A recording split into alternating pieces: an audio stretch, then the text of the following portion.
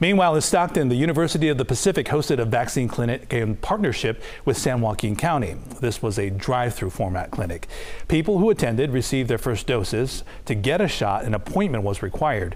Organizers say that it's a good thing vaccine eligibility is expanding. It's actually nice to be able to open to more broad uh, population sooner than I thought it would be.